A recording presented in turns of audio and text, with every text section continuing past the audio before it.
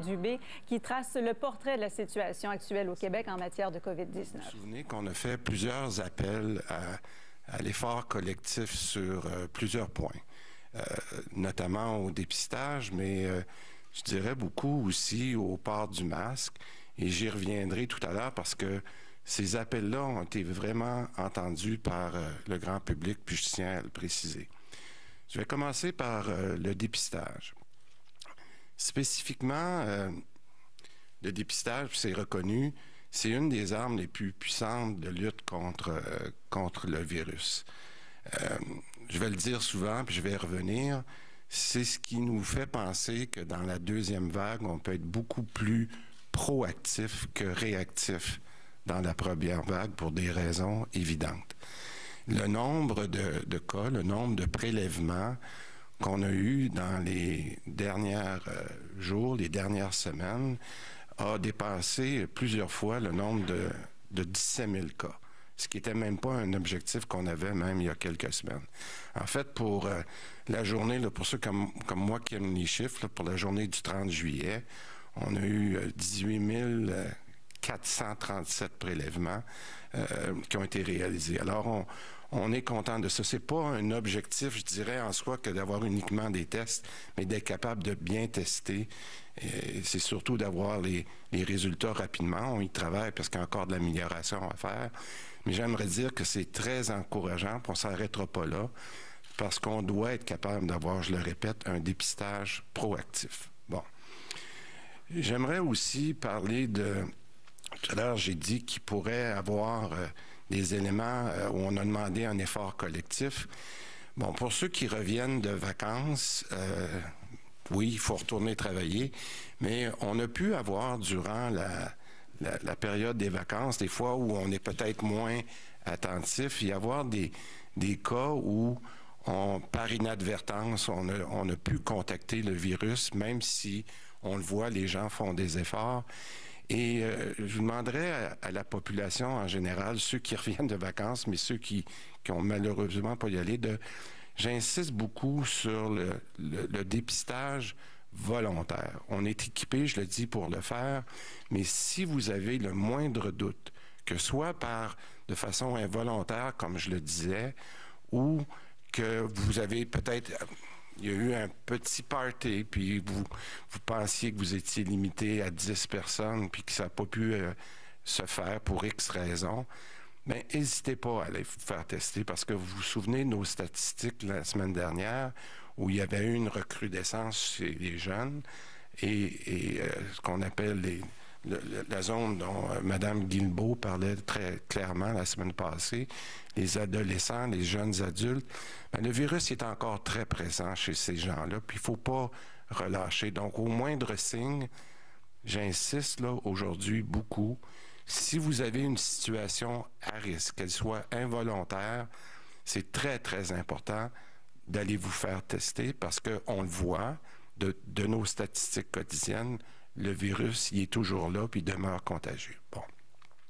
Mais je rappelle, par exemple, que c'était attendu et normal, parce qu'il faut, faut bien voir qu'au cours des dernières semaines, on est passé d'un confinement presque total à un déconfinement total. Les gens sont allés en vacances. Alors, qu'il y ait des contagions, c'est normal. On le savait, on pourra en parler avec le docteur Arruda, mais en même temps, si vous ou vos enfants, parce que je pense que dans le cas euh, des, euh, des garderies qui sont ouvertes, on a vu qu'il y avait des cas, par exemple, dans les camps de, vacances, les camps de jour. Je le répète, il peut y avoir de ces cas-là, on l'a vu. Je demanderais aux parents d'être très vigilants et au moindre signe de ne pas hésiter à aller vous faire tester vous et vos enfants. Bon. J'ai dit euh, en entrée de jeu aujourd'hui qu'il y avait un effort collectif sur le dépistage. Encore une fois, je remercie. Maintenant, sur le port du masque. Euh, et particulièrement dans les lieux fermés. Bon, les, Québécois, je, pense qu'on le voit. Moi, je le vois ici avec les gens qui ont, qui ont, chacun leur masque, mais on le voit sur la rue, on le voit dans les restaurants, on le voit dans les bars, on le voit partout. Les, Québécois sont vraiment au rendez-vous. Puis je vais vous dire, on a, vu les pourcentages augmenter de façon importante au cours des dernières semaines. Euh, Madame Guilbeault l'a dit, c'est, je pense que son expression a fait un peu euh, euh, le tour. c'est vraiment une habitude, c'est, c'est vraiment une norme sociale maintenant. Et ce que j'aime comme expression, c'est qu'on est là pour donner l'exemple. Plus on va donner l'exemple que c'est rendu la norme d'avoir le masque, je pense que tout le monde va pouvoir comprendre que c'est pas uniquement pour se respecter personnellement, mais respecter les autres. Donc, ce qui me permet de faire un rappel aujourd'hui sur euh, les lieux intérieurs. Euh, je l'ai dit tout à l'heure, c'est très clair.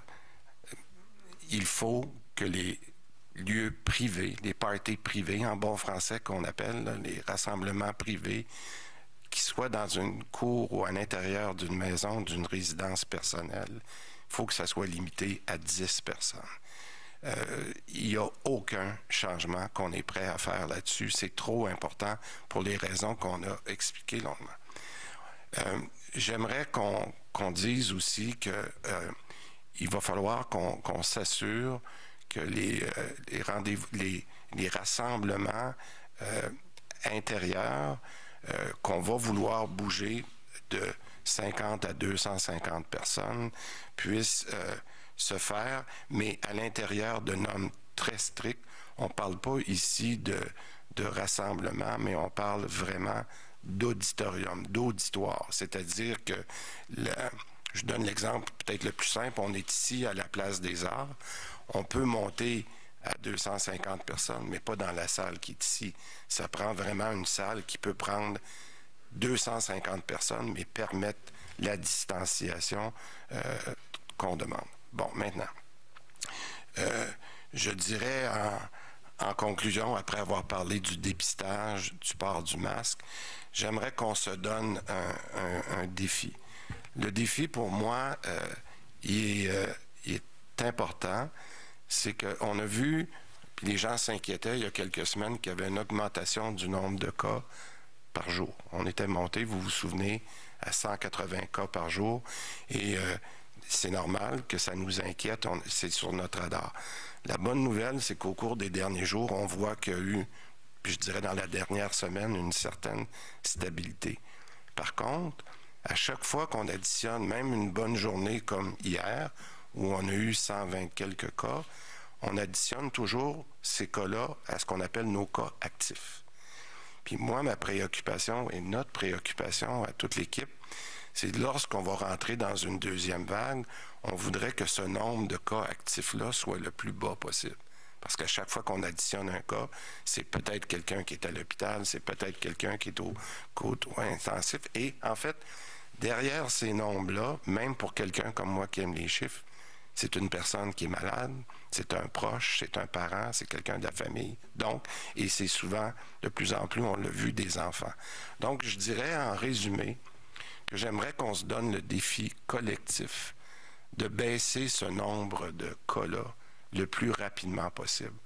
On l'a vu au cours des, derniers jours, des dernières semaines, que quand les Québécois se mettent ensemble pour un effort collectif, on réussit très bien, puis on réussit de le faire de façon proactive, volontaire.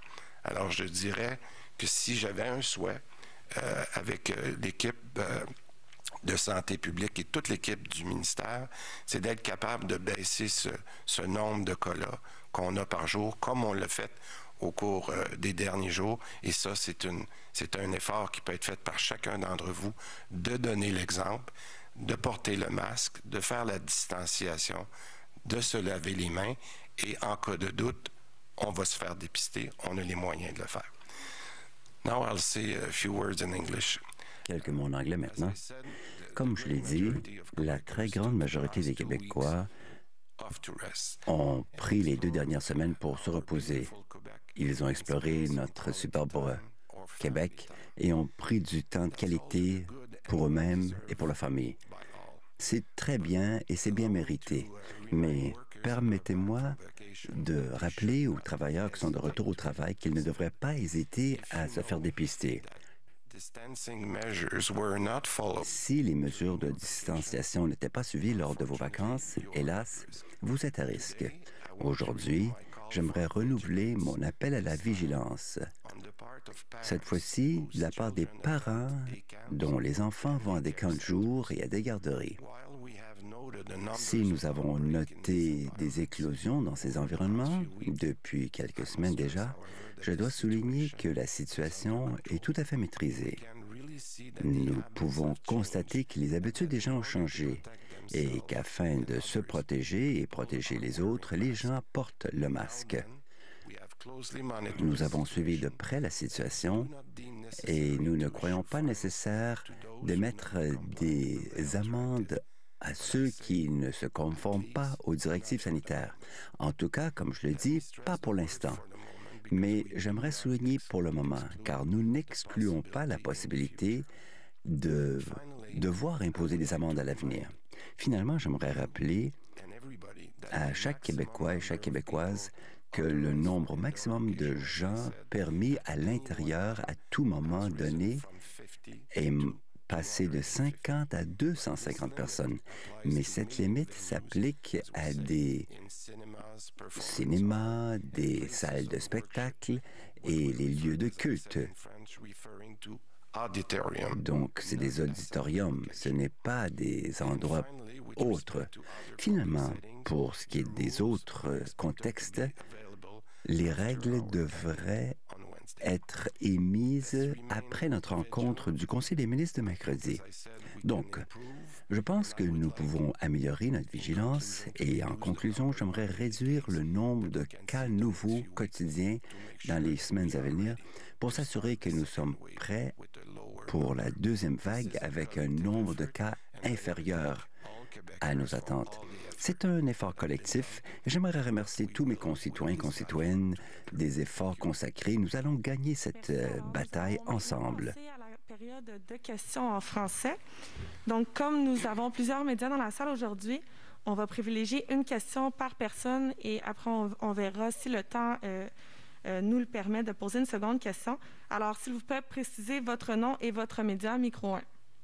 Ariane Lacourcière de la presse. Euh, depuis une semaine, les chiffres sont pas constamment disponibles. Vous revisez les chiffres ou le système informatique, je ne sais pas trop, mais avez-vous un peu de détails? Euh, on parle de 123 cas. Aujourd'hui, c'est des jeunes, c'est des vieux. Les décès, c'est-tu en CHSLD? Est-ce que vous avez un peu plus de contexte?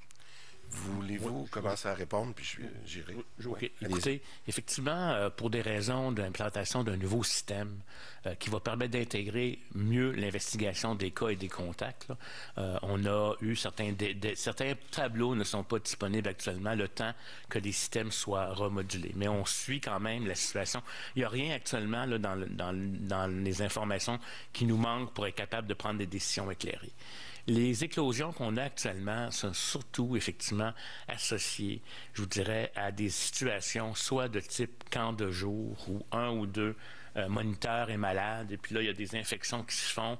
Les gens n'ont pas seulement leur travail, ils vont avoir des réunions, parties, etc. Donc, c'est vraiment des éclosions dans ces univers-là. Il y a eu quelques éclosions qui sont associées, je vous dirais, à des travailleurs euh, euh, étrangers qui, ont, qui, ont été, qui ont été faits. Il y a plus de dépistage qui a été fait actuellement. Et puis, les décès, c'est encore actuellement des personnes âgées qui sont décédées. Même dans le décès qu'on a actuellement aujourd'hui, un des deux décès euh, provient d'avant, euh, je vous dirais, quelques, quelques semaines. C'était une recompilation de données.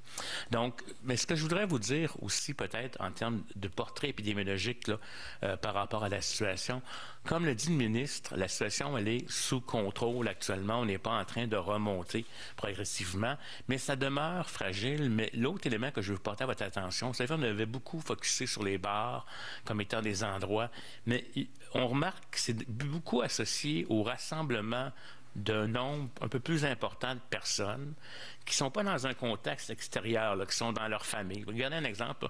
Probablement qu'autour de certains campings, il y a dû avoir, puis là, j'invite les Québécois qui sont allés en voyage à se faire tester, à ceux qui sont dans les régions où il n'y a pas eu de circulation aussi à se faire tester, parce qu'il y a peut-être plus des personnes asymptomatiques qui n'ont pas voulu vous contaminer. Mais si vous vous êtes retrouvé, comme dit le ministre, dans une situation où, euh, vous savez, là, c'est c'est pas naturel d'être à deux mètres tout le temps. On se retrouve une gang de gars ensemble ou de filles, puis euh, dans un, party privé, on est 15, on n'est pas 10, 12.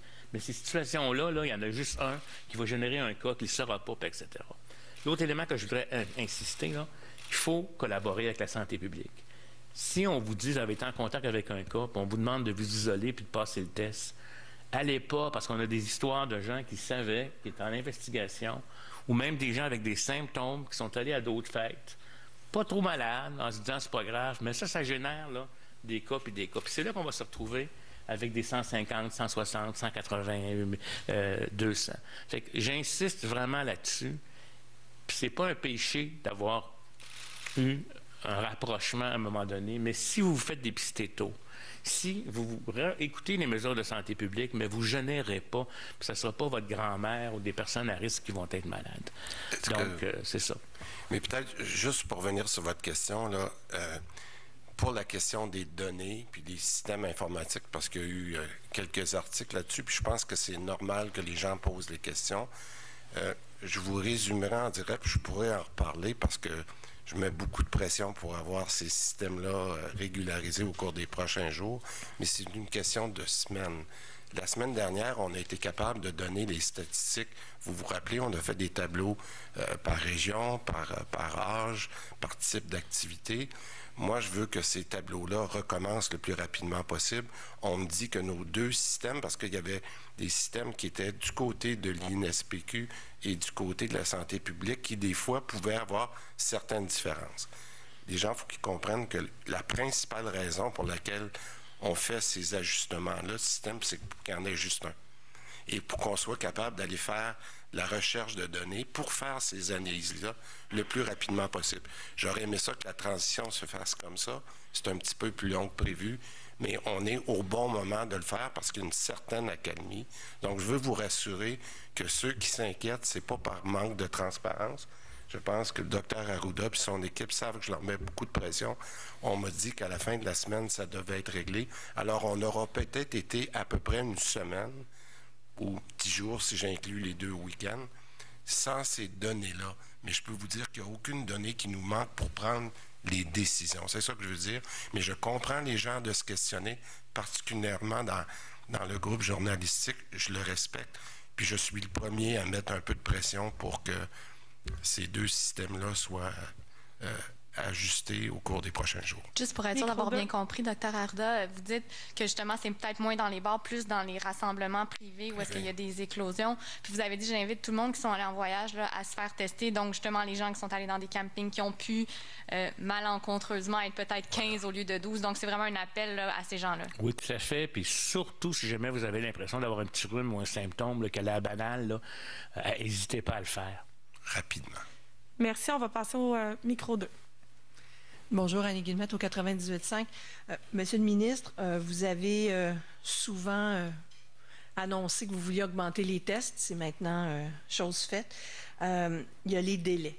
Vous en avez un petit peu parlé tantôt, des gens qui se retrouvent avec cinq jours d'attente à la maison sans pouvoir aller travailler. on ajoute à ça l'épuisement des techniciens en laboratoire qui sonnent l'alerte depuis maintenant quelques heures, quelques jours.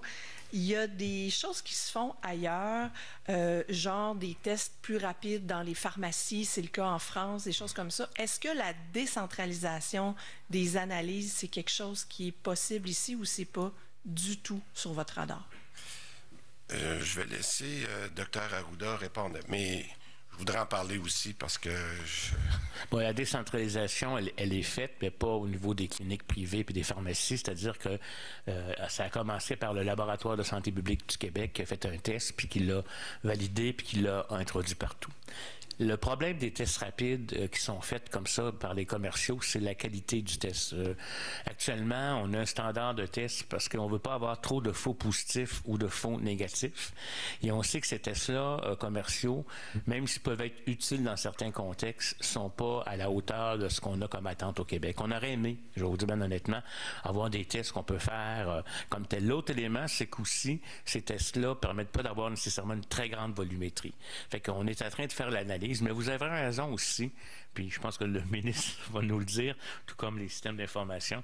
Il faut pas, faut pas, euh, les gens qui sont positifs se contacter rapidement, mais les gens qui sont négatifs, peut-être ça peut prendre un peu plus de temps, mais c'est pas acceptable parce que ces gens-là sont arrêtés pendant cinq jours. Et puis toute la question des ressources humaines, puis de la, puis ça c'est un problème euh, un petit peu chronique, un peu systémique dans, notre système actuellement. Il, il peut manquer de ressources humaines, mais c'est quelque chose qu'on va qu'on va adresser. Et puis ça fait partie des indicateurs qu'on va nous demander de suivre. Là, euh, de façon régulière sur c'est quoi le, le, temps que ça prend pour que le test soit analysé. Ça, c'est assez rapidement, mais que le test se rende jusqu'à la personne, il, là, il y, a, un délai, puis ça, il faut corriger ça. Euh, je compléterai, si vous permettez, parce que j'ai dit que c'est beau monter le nombre de tests, mais il faut être efficace, puis il faut donner un service, euh, un meilleur service en termes de réponse. effectivement, je pense que le principal point, c'est pour ceux qui sont souvent un test négatif, c'est aussi important pour eux de savoir que quelqu'un qui l'est. Alors, lorsqu'on est en train de regarder, c'est, le, test, s'il est fait, on a la réponse, mais on n'a pas contacté les gens. Alors là, moi, j'ai demandé aux gens, euh, puis on a ajouté, euh, euh, je vous ai dit qu'on renforçait l'équipe au niveau de, toute notre équipe de sous-ministres. On a des gens de logistique en ce moment qui sont en train de regarder du début à la fin. Rappelez-vous, quand on a eu le rapport Montréal la semaine passée, la question du dépistage était problématique parce qu'on ne savait pas, ou c'était peut-être pas clair, qu'est-ce qui était santé publique dans la planification, dans les objectifs, mais qu'on disait qu'on laissait au CIS et au CIUS l'opération des tests. Alors, toute la question de. Il y avait peut-être des endroits où il y avait un certain flou. Alors, la journée que le test, il est fait, la logistique, c'est qui appelle qui et le fait comment pour supporter. Alors, oui, il y a peut-être des, enjeux, je ne le cache pas, il y, a, quand même au niveau du regroupement qui est en cours de, certains laboratoires, qui n'est pas terminé, hein, il, y a, eu un effort là-dessus, mais je vous dirais que globalement, on est en train de travailler sur la logistique et je pense que le bénéfice, les gens vont le voir, les, résultats vont être communiqués aux gens plus rapidement. Merci, on est, là-dessus. Merci, on va passer au micro. Pardon? J'ai pas une question de suivi. Non, c'est une question par journaliste, s'il vous plaît. On va passer euh, au prochain. Merci. Alors, euh, bonjour, Monsieur Arruda, Monsieur Dubé, Marie-Josée Paquette-Como de Radio-Canada. Bonjour. Euh, à la suite, en Ontario, à la suite d'une enquête sérologique, la santé publique a affirmé qu'il y avait quatre fois plus de cas qui avaient été de coronavirus dans la population que de cas réellement détectés par la santé publique.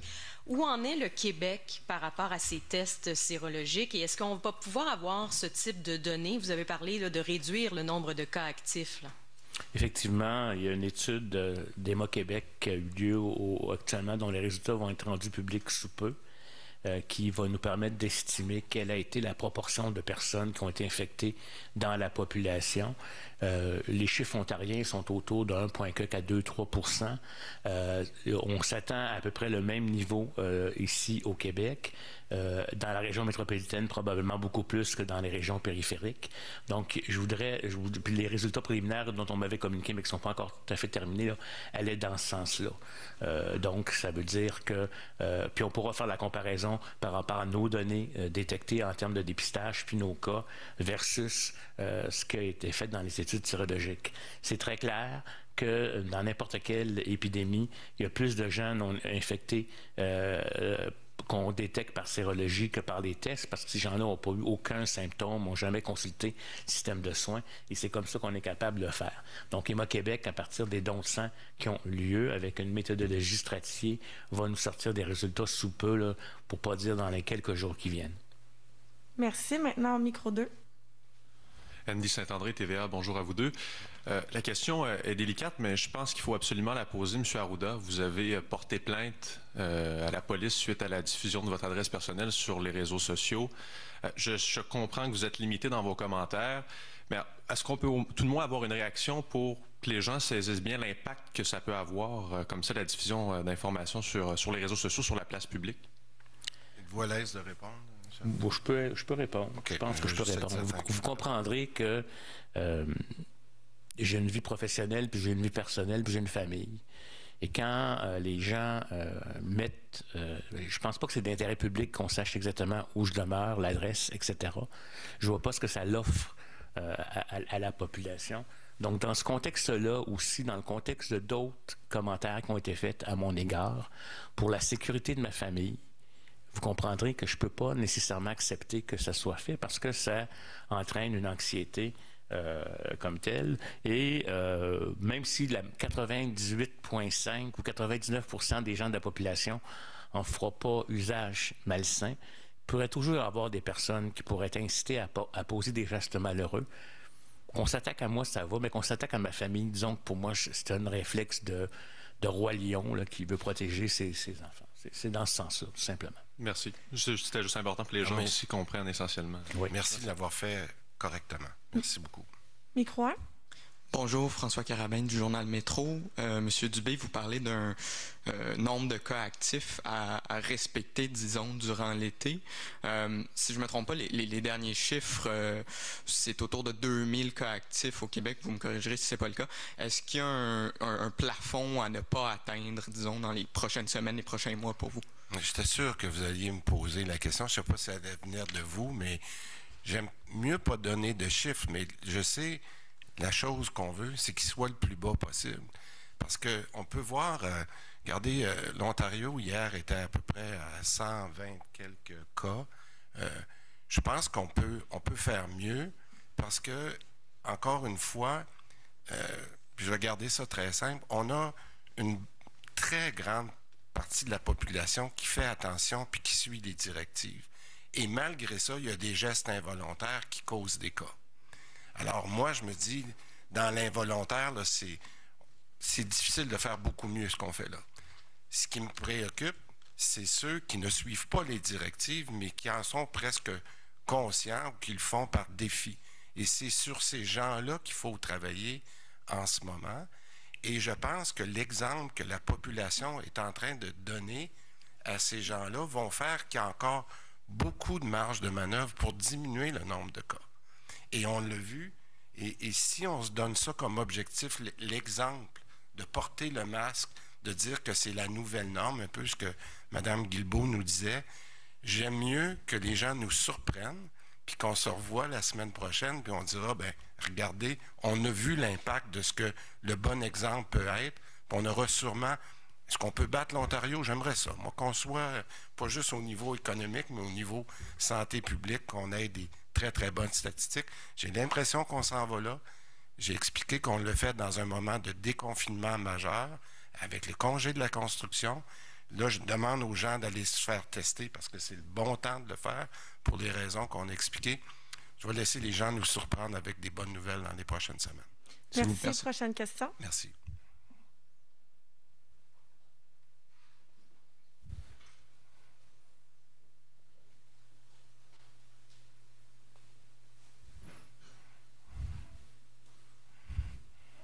Bonjour à vous deux. Euh, je trouve ma question une petite seconde. Euh, donc, euh, des diffuseurs de spectacles à qui le journal a parlé ce matin militent pour la réduction de la distanciation en salle à 1 mètre plutôt, plutôt qu'un mètre 50 et aussi pour une nouvelle augmentation de la limite des rassemblements intérieurs. Deux mesures qui leur permettraient de présenter des spectacles de plus grande envergure et devant un public plus nombreux aussi. Est-ce que ce sont des mesures qui sont envisagées dans un futur euh, proche? Depuis le tout début, si vous me permettez, M. allez-y. Depuis le tout début de la pandémie, on est allé de façon progressive. Parce que je, pense que c'est important, euh, de, comme j'ai dit, d'apprendre à ramper, marcher, euh, se lever. Et donc, actuellement, on passe de 50 à 250. Et le 1,5 mètre, ça a déjà été, si vous me permettez, par rapport à euh, un 2 mètres, un, assouplissement. Le 1 mètre, c'est pour les jeunes qui ont peu de maladies et de symptômes. Dans une salle de spectacle, vous pouvez avoir une personne âgée, etc. Déjà, le 1,5 mètre, vous savez, là, on est déjà en, en dedans du 2 mètres. Donc, moi, actuellement, à court terme, si vous me permettez, allons-y avec ce qui est là. Euh, comme tel. Voyons comment ça, les, effets que ça peut représenter. Est-ce qu'on va avoir des éclosions associées à des spectacles ou pas? Je pense qu'on va être capable de voir. Moi, j'ai confiance que si les gens respectent les consignes, hein, de porter un masque quand ils vont se déplacer vers, que que les promoteurs vont faire le spectacle à 250 en respectant les consignes, Si on démontre qu'il n'y a pas d'éclosion, on pourra à ce moment-là relâcher. Je ne sais pas si vous comprenez. C'est comme on fait actuellement. On a regardé, on a regardé les bars. Il y avait des enjeux avec certains bars. On est intervenu spécifiquement. On semble avoir contrôlé le système. On n'a pas tout fermé les bars. On les a laissés ouverts. Donc, on, peut vivre avec ça. Actuellement, moi, je pense que la réponse à court terme, c'est on fait déjà un pas de 50 à 250. On va essayer de 250 avant de passer à X nombre. Puis le 1,5 mètres, je pense que actuellement, c'est déjà un compromis. Merci. Prochaine question.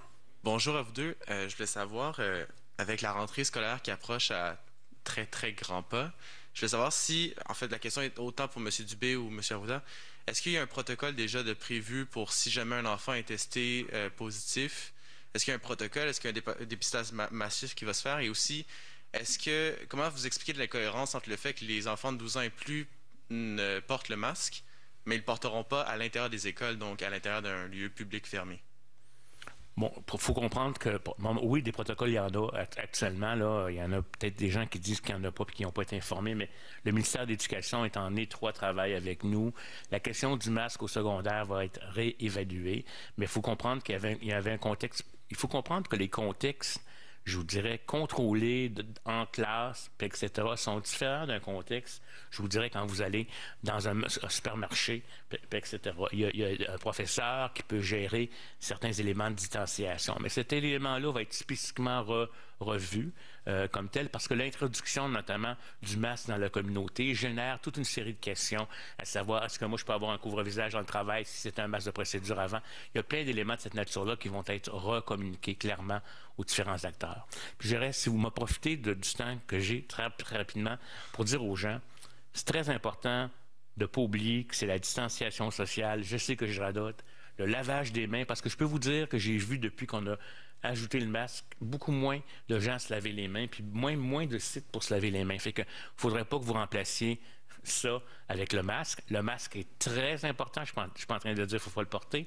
Il faut le porter, mais oubliez pas le lavage de mains. Et l'autre chose, imaginez-vous que vous avez été peut-être, sans le vouloir, ou même en le voulant, un peu délinquant, et que vous avez des symptômes, ou que vous pensez peut-être avoir été infecté faites-vous dépister. Il n'y a personne de la santé publique qui va venir vous accuser ou qui va venir vous maltraiter. C'est un geste responsable que de dire j'ai peut-être été dans une situation où j'ai pas euh, euh, respecté ou on s'est rapproché un peu euh, comme tel. Dans le fond, là, je vais y aller passer le test. Puis, si jamais c'est ça, ben, c'est un acte citoyen que vous faites. Vous allez éviter des cas secondaires. Je vais me permettre d'ajouter quelque chose à votre question sur les écoles. C'est très évident qu'en ce moment, il y a beaucoup de questions sur les écoles. Euh, puis pour moi, ça, ça fait partie pas juste d'un plan de la santé, mais d'un plan gouvernemental, puis que les gens s'attendent à ça. Donc, euh, on a eu beaucoup de conversations avec euh, notre collègue Jean-François Roberge au cours des derniers jours. Puis c'est sûr que le plan qui a été déposé en juin, et, et M. Roberge le reconnaît, a besoin d'être actualisé parce que entre juin et aujourd'hui, il s'est passé des choses. On a appris euh, toutes sortes de choses. On voit ce qui se passe dans les autres provinces, dans les autres parties du monde. Alors, euh, ce que je comprends aujourd'hui, puis je peux vous mettre à jour, c'est que ce plan-là, tout à fait normal, et c'est ce qui était prévu, va être actualisé et va être actualisé la semaine prochaine. Alors donc, je voudrais rassurer les, parents. Euh, après le, plan qui avait été mis le plus tôt possible en juin, étant donné les nouvelles informations que l'on a. Et on verra pour votre question spécifique s'assurer qu'il n'y a pas d'incohérence, parce que votre question est très à propos. Euh, la semaine prochaine, euh, M. Roberge et, et, je dirais aussi du côté de, de, Mme McCann avec l'enseignement supérieur, et j'ajoute aussi Mathieu Lacombe parce qu'on a les services de garde. Donc, le gouvernement a un plan d'ensemble et cette actualisation-là va se faire la semaine prochaine. Ça va? Oui, merci. merci. Micro 2, je vous rappelle de nommer votre nom et votre média, s'il vous plaît. Bonjour, je peux en, en anglais, s'il vous plaît. René Brumer with the Montreal Gazette. Bonjour. Sure. Um, uh, as we're moving towards 250 gatherings of 250 people today, uh, many people have questioned, especially. Beaucoup de gens en lien avec le retour à l'école, pourquoi le Québec a-t-il décidé de passer de 50 à 250 personnes? N'est-ce pas un risque qui n'est pas nécessaire à faire courir aux gens? Réponse. Le passage de 50 à 250 personnes, c'est dans une zone contrôlée. On n'a pas noté d'éclosion en lien avec le 50. Si ça avait été le cas, on aurait peut-être changé notre fusil d'épaule. Mais il est question d'un espace euh, assez vaste qui peut accueillir 250 personnes. Il est question d'être assis dans un siège avec 1,5 mètre par personne comme rayon de distanciation. Je crois que c'est un risque acceptable. Comparez cela à une fête à l'intérieur avec 30 personnes. Le genre d'interaction, c'est très différent, vous savez, dans une salle de spectacle. Il n'y a pas de bec euh, entre les gens. Je ne parle pas du tout d'un concert rock, mais j'imagine la place des arts, à l'opéra. C'est un endroit bien ventilé. Les gens ont des masques en s'assoyant. Ils peuvent enlever leur masque une fois ci. S'ils sont à risque élevé, c'est des gens âgés, ils peuvent garder leur masque. C'est très différent d'un scénario de ce que je considère être un risque plus important, une fête entre ados ou même adultes dans un terrain de camping où il n'y a pas la distanciation, voyez-vous? Question. Un peu de suivi là-dessus. Il y avait une pétition au week-end signée par des médecins que 250, c'était trop de gens. Pourriez-vous expliquer, est-ce que la logique, c'est que parce que nous avons un nombre de cas qui s'est stabilisé, est-ce qu'il y a un élément d'immunité collective? C'est ça l'objectif ou c'est quoi? Réponse. Non, ce n'est pas le cas de cette immunité collective. Si jamais nous avions une éclosion généralisée, on n'agirait pas ainsi. Mais regardez l'expérience dans d'autres pays et même au Québec. Ces rassemblements de 50 personnes dans un grand espace comme ici, je ne pense pas qu'on ait eu d'éclosion lors des conférences de presse, même si nous sommes à l'intérieur. Donc, imaginez une grande salle de spectacle comme la Place des Arts et vous pouvez avoir 250 personnes parce que c'est bien des ça de la capacité maximale. Alors là, le contexte, c'en est un de transmission très faible, car si vous respectez les deux mètres, si vous lavez les mains, parce qu'il y a beaucoup de désinfection également, et si vous avez le masque et vous ne chantez pas, les chanteurs sont très loin de vous, ce n'est pas très risqué. Comparez cela à des fêtes dans des jardins ou dans le sous-sol où il y aura beaucoup de proximité physique. Parce qu'on ne va pas faire des embrassades à l'opéra, n'est-ce pas? Les gens ne vont pas commencer à s'étreindre.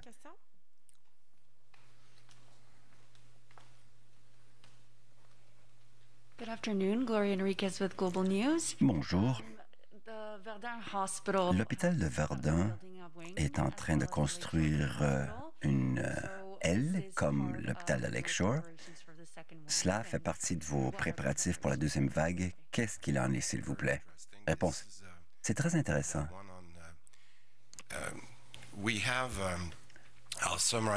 Je vais le résumer puisque nous avons des explications à offrir dans les semaines à venir pour euh, le plan global quant à la deuxième vague. Mais quand vous soulevez ces deux faits-là, je puis vous dire qu'un des enjeux lors de la première vague, c'est que nous avions des patients hospitalisés qui étaient dans des chambres partagées avec un ou deux autres patients. Ce qu'il nous faut faire très rapidement, c'est de s'assurer, et ce n'est pas un jeu de mots, mais qu'il faut faire de la place donc, euh, on n'est pas pour faire de l'occupation double. Donc, euh, à l'hôpital de Verdun, c'est un ancien hôpital et nous voulons trouver des solutions rapides avec euh, cet hôpital modulaire, car l'hôpital sera rénové, mais cela prend plusieurs années. Donc, entre-temps, ce qu'il faut faire, c'est qu'il faut accéder à des installations modulaires cela peut prendre des mois à construire plutôt que des années pour une structure complète. Donc, euh, un des éléments de réponse, c'est que nous aurons des chambres à occupation simple. Et ça, c'est un élément clé pour la deuxième vague. Ça, c'est à Verdun. Et demain, je vais me rendre à à l'hôpital Lakeshore, car nous voulons voir ce qui se fait construire pour voir comment euh, le faire plus rapidement. Parce que la construction modulaire a cet avantage-là, c'est que cela peut être monté plus rapidement. Et au ministère, dans le service des infrastructures, nous étudions tous les hôpitaux qui pourraient trouver euh, cette solution applicable. Alors, cela fait partie de notre réponse globale à la deuxième vague. Je vais essayer, de, je vais essayer de traduire.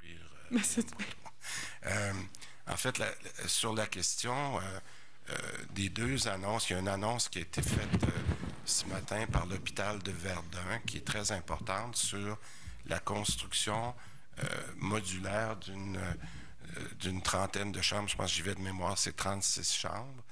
Euh, et ça fait partie de notre plan de la deuxième vague, dans le sens que un des éléments que tout le monde reconnaît bien maintenant, c'est qu'il y a eu beaucoup d'infections, soit dans les CHSLD ou dans les établissements, dans les hôpitaux, de gens qui étaient dans des chambres doubles ou des chambres triples.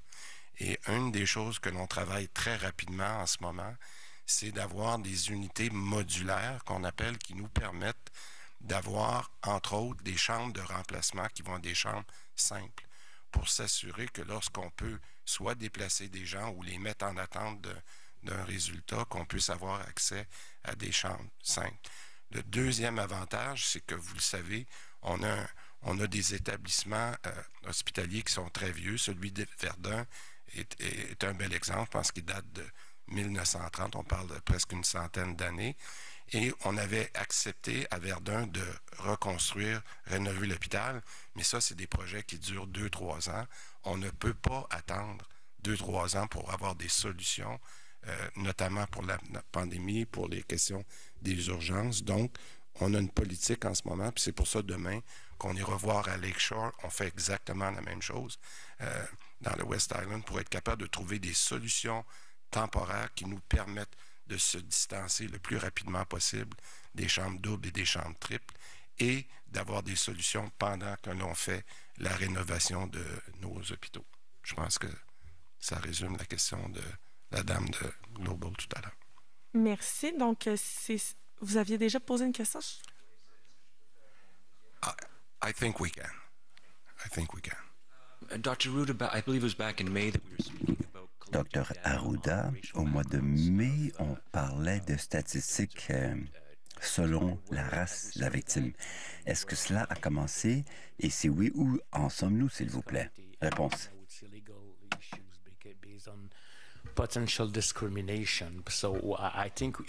J'estime que ce n'est pas vraiment ventilé par race, mais nous ajoutons d'autres stratégies afin de mieux identifier quels sont les facteurs de risque de certaines collectivités culturelles. Donc, notre approche, ce serait différent du cas par cas avec une déclaration de euh, l'origine ethnique de la victime. Ce sont des données sensibles, savez-vous, et certains groupes pourraient expliquer que nous faisons de la discrimination fondée sur des critères raciaux donc, euh, de faire correspondre un nom à une race, par exemple, ce n'est pas nécessairement euh, souhaitable pour euh, la santé publique. Il y a un équilibre à trouver, savez-vous.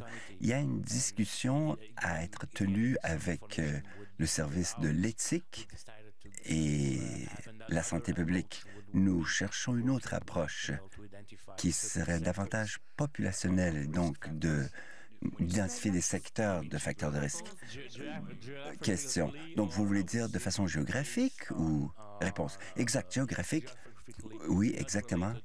Non pas relié à la race en soi. À moins que nous ayons une hypothèse d'un processus génétique.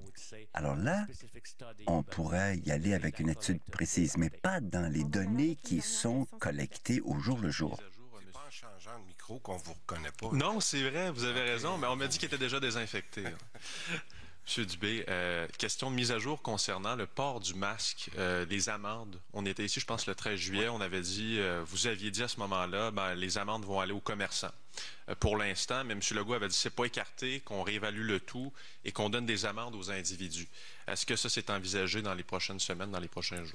Je vais vous répondre simplement, c'est pas écarté, mais c'est pas pour le moment.